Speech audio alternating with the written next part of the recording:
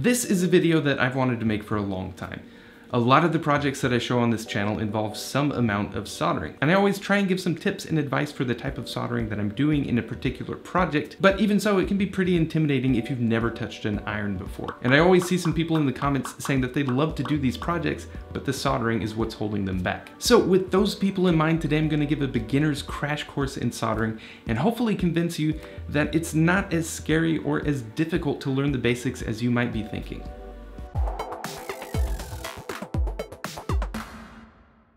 Okay, so here's what I'm gonna do in this video. First, I'm gonna go over some basic concepts and some common issues that I see people running into as they're learning how to do this. Then I'll go over some basic techniques for some different types of components that you're likely to run into as you get into this hobby.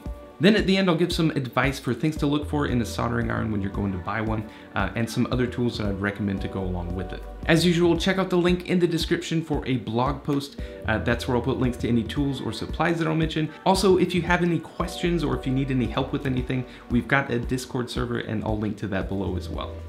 Okay, so let's start with the very basics. Soldering is when you fuse together two electrical components using a metal alloy called solder. And by the way, yes, I'm aware that most other countries pronounce the L in the word solder. For whatever reason, we decided not to in the United States. Wasn't my idea. Anyway, that alloy comes in several formulas that are made up of metals like tin or copper or lead. Personally, what I like using is 60-40 rosin core solder. That means that it's 60% tin and 40% lead. You can get it without lead, but I find that a little bit more difficult to work with. Uh, so if you're using one that has lead in it, just make sure that you wash your hands after you're done. It also comes in different diameters. You can get really thick or really thin solder. Personally, I prefer thinner because it makes it easier to fit inside pinholes, and it also makes it easier to control how much you're applying. Rosin core means that the center of the solder is made up of rosin flux. Flux is another important component of soldering. It's used for cleaning metal surfaces and removing oxidation and just getting them ready to accept solder and fuse with it. There are a few different types of this as well. Some of them are very thin and basically evaporate as you work with them, and some are thicker, although those thicker ones can leave a sticky residue that is sometimes corrosive, so you'll want to clean that off with some alcohol when you're done. If you're using rosin core solder, then in most situations, you won't have to worry about using additional flux, although you'll still want to clean off that residue that the rosin leaves behind. Flux can be especially useful for working with ribbon cables or tiny pads on a PCB because it'll facilitate better surface tension to sort of pull it onto the metal pads where you want it to go. Now, a couple of common mistakes that I see people making when they're first starting out. The first is that I'm trying to figure out what these people are thinking. I think that the issue is a lot of people seem to think that the goal with soldering is to sort of melt the solder onto whatever you're trying to join together. Almost like you're squeezing icing onto a cake or something like that. That's not the case. Instead, what you're trying to do is heat up both of the things that you're trying to fuse together and then melt the solder into that. Might seem like a small distinction, but it is incredibly important. Because if you do it the other way, if you just kind of dribble the solder onto whatever you're working on, first of all, it's gonna be really messy. But you'll also run into what's called a cold solder joint. That's where it might look like the two things are connected, but it hasn't actually fused with one or both of those surfaces. So you'll have an intermittent connection at best, or at worst, no connection at all. The other issue that I see constantly, uh, the old saying, less is more, that definitely applies to soldering. You only really wanna use just enough solder to make the connection. Sometimes you'll have a good reason to use a little bit more. For instance, on the Minty Pi where the L&R button board connects to the power board, you should make those solder joints a little bit bigger because they're actually kind of physically reinforcing that connection between the two boards. But the vast majority of the time you only want to use just enough to make that connection. If you use too much solder, then you run the risk of bridging whatever you're connecting with some neighboring components. That can be really bad to say the least. So I'll start with probably the easiest type of component to work with, which is through-hole components. You can find all kinds of different components in this form, like capacitors and resistors and LEDs, and they've got these long legs that are meant to go all the way through a circuit board. You find these a lot in commercially made boards, uh, like these giant capacitors on this printer controller board. For some of them, you might have to bend the legs to make them fit into the board, and I'm just using it with some prototyping board here just to give an example slide it into the pinholes, and then bend the legs outward to hold it into place. Use the tip of your soldering iron to heat up both the pinhole and the leg at the same time, and then feed a little bit of solder onto it. A good temperature to start at with soldering, by the way, is between 300 and 325 degrees Celsius. And that's it. Like I say, really easy to work with, and you can see that I hardly had to use any solder at all. That's kind of a theme that you'll be seeing here is only use as much solder as you actually need. Another type of through-hole soldering that I've shown a few times on this channel is attaching header pins to some type of board like this tiny Arduino board from Adafruit. These make it so that you can stick it into a breadboard, which makes it really easy to work with for prototyping. So the easiest way to attach these is to put the header pins into the breadboard so that you have everything lined up, and it'll also keep the legs perpendicular with the board. And then just like in the other example, use the tip of your soldering iron to heat up both the pinhole and the pin and feed a little bit of solder onto it. For this one, I'm using a little bit more than I did on the previous example, and that's because these are going to be under a little bit of stress as you insert it and remove it from the breadboard, uh, so you want to make sure that it's got a nice solid connection. I like to do one on both sides, and then just go down the line and do the rest. And this is about what it should look like when you're done. You'll notice that the solder extends just a little bit up above the board and makes kind of a cone shape. And I should probably go back and clean up all the excess rosin from the solder on this one. So next up, let's talk about wire. This is the kind of wire that I like to use. It's coated in silicone, so it's nice and flexible, and it's not gonna melt from your soldering iron either. It's also really easy to strip, you can do it with your fingernail, and this is stranded core wire, meaning that it's made up of a bunch of tiny individual strands of metal. You can also get solid core wire, which as the name implies is made up of one giant thick piece of copper in the middle of the wire. I've only needed to use this a couple of times, it's much more difficult to work with. 99% of the time you're going to be using stranded core wire. So the first thing that I want to show you is tinning wires, which is the process of adding a little bit of solder to it to make it much easier to connect to other components. To do this, strip a couple of millimeters of the wire, and then twist all of those strands together nice and tight.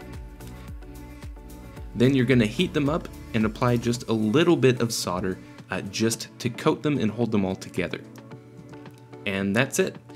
This is something that you'll find yourself doing quite a bit, uh, so it's a good thing to practice. Next, I'm going to show you how to splice two pieces of wire together, which is, again, something that you'll probably find yourself doing at some point in the future. There are a few different techniques for doing this, uh, but here's how I like to do it. Strip off about 5 millimeters of both sides of the wire, twist the strands of wire together, but don't add any solder to it just yet. Then after we're done, we're gonna need something to cover up the exposed wire. I like to use heat shrink tubing, so take a small piece of that and slide it over one of the wires. Obviously you wanna do this before you connect them together. Now take both halves of the wire and twist them together nice and tight. Then just like with the tinning example, heat up the wires and apply a little bit of solder. Again, as you can see, I'm not going crazy with the solder here, just enough to coat both the wires. You might want to trim it down just a little bit, and then you can fold the exposed wire over so that it's parallel with the wires. Slide the heat shrink tubing onto the exposed part, heat it up, and that's it. Again, this is probably something that you're to find yourself doing as you get into this hobby, uh, so it's a good thing to practice. Sometimes you need to connect wires to pinholes, like for example if you're connecting a battery to this charging board. To do that, first prep the pinhole by heating it up from one side with a soldering iron tip, and feed a little bit of solder down into there. Then you're going to want to twist and tin the wire like I just showed you, then heat up the pinhole and slide the wire in from the other side. Now in this example here, I actually didn't feed quite enough solder down into there, so I went back and added a little bit to the back. This is about what it should look like when it's done. As you can see, the hole is completely filled, uh, but it doesn't stick out very much at all. It's nice and smooth. Also notice that I don't really have any wire exposed on the top of the board here. I inserted the wires all the way into the pinholes so that there's no metal exposed and you can't accidentally short something out. Sometimes you need to attach wire to a board that doesn't have pinholes, so you'll be attaching them directly to pads on the board, uh, like with this Retro PSU board from Helder. Really nice battery charging and boost board. So anyway, I'm going to be attaching a couple of wires to these battery pads here to add a JST connector to make it really easy to connect and disconnect a battery. So first, again, strip a couple of millimeters of the wire, twist it, and tin it, just like you've seen me do now in a couple of examples. Should look about like this when you're done. Some types of wire like this you need to be a little bit more careful with because they do melt unlike that silicone coated wire that I was using before. Then heat up the pads that you need to attach the wires to and feed some solder onto the board right at the tip of the soldering iron. This is about what it should look like when you're done, just a couple of nice smooth bumps that stick up maybe a millimeter or so. Then you can heat up those blobs of solder and just kind of insert the wire into them. Having them tinned beforehand makes it so that they should just kind of get absorbed into that blob of solder pretty easily. Notice that I only stripped as much wire as I needed. Beyond just keeping it nice and clean looking, that's really important so that you make sure that you don't accidentally short something out somewhere. Another type of soldering that actually I'm not sure if there's an actual term for it, but it's really popular with the types of projects that you see on this channel. For example, with Kite's Circuit Gem for the Sega Dreamcast VMU shell. Anyway, you'll see pads on a board that correspond with pinholes on a separate component, in this case a Raspberry Pi Zero. And the goal is to melt solder down into the pinholes and onto the pads behind them, thereby fusing the two boards together. I've shown this technique with several different projects on this channel, such as Ampersand's Null 2 project, which made heavy use of it. I'm actually a pretty big fan of that design because it lets you use cheap, off-the-shelf components on top of a relatively simple, inexpensive PCB. We also use this technique in the Minty Pi to make it quite a bit thinner because we don't need any header pins. The two boards are just fused directly together. Now this type of soldering is definitely a little more challenging, but I really think that if you practice at it, you can get the hang of it. Now, a common mistake that I see with this type of soldering is that people try to just kind of drizzle solder down into those pinholes.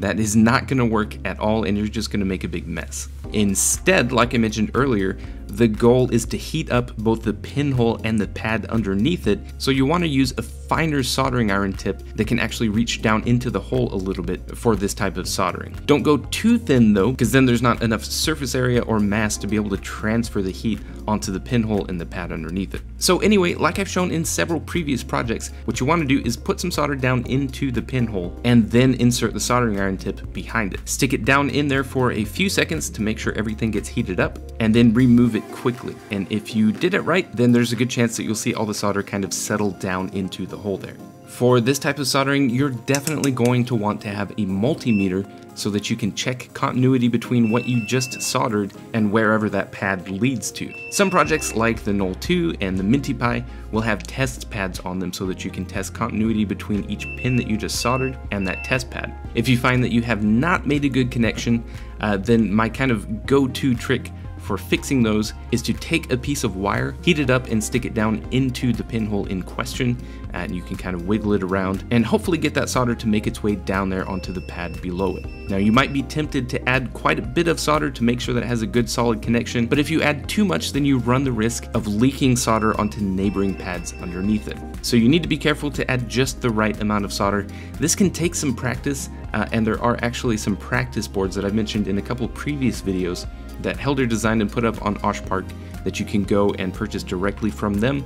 They're not very expensive and they've got test pads on them, so it is worth getting a couple of sets of these and practicing on them if you're doing a project that uses this kind of soldering. As I've mentioned in previous videos, you can spend anywhere from a few dollars all the way up to several hundred dollars on a soldering setup, and I don't necessarily recommend going to either of those extremes. At the low end of the spectrum, you're going to get an iron that you plug in and it heats up, and that's about the only control that you have over it. As you work your way up that spectrum, you'll start to see nice features like interchangeable tips, adjustable temperature, and even hot air rework guns which can come in really handy. This is the one that I've been using for a while now, it's called the 853D. It's got those features that I just mentioned. It's also got a really handy feature which is a built-in DC power supply that you can adjust up to 15 volts. Super handy for working on small electronics projects like you see me doing on this channel. It also has a USB power supply built in and a voltage meter as well. It's also got a really nice feature where it'll go to sleep if you don't pick up the soldering iron for a while. It'll lower the temperature until you pick it up again. You can get it for about 100 bucks on Amazon, and to me, it's worth it.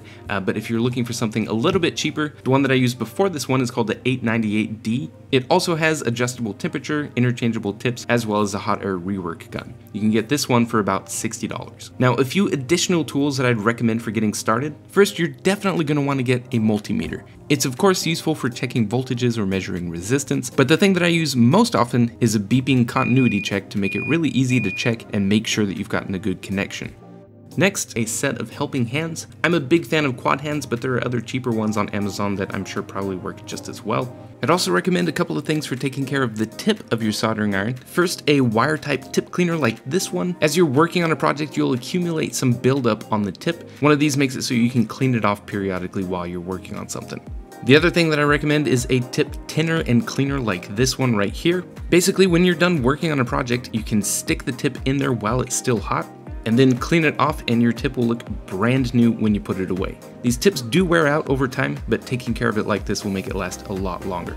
And then the other thing that I'd recommend is a silicone pad to do all your soldering on. Basically nothing sticks to them including solder, uh, it's not going to melt it if it drips on it, and you can get them with these built-in trays to hold screws and things like that while you're working on projects. Alright guys, well that's all that I wanted to cover. Hopefully this was helpful and hopefully it made it less intimidating to think about learning how to solder so that you can jump in and start doing the kinds of projects that I show on this channel. Again, check out the blog post in the description for anything that I forgot or that I need to add, and links to anything that I mentioned in this video as well. As always, a huge thank you to my Patreon supporters. Uh, that money goes towards paying for website hosting and tools and supplies and parts for new projects and things like that. Uh, so again, thank you. I really appreciate that. If you made it this far, then thanks for watching and I will see you next time.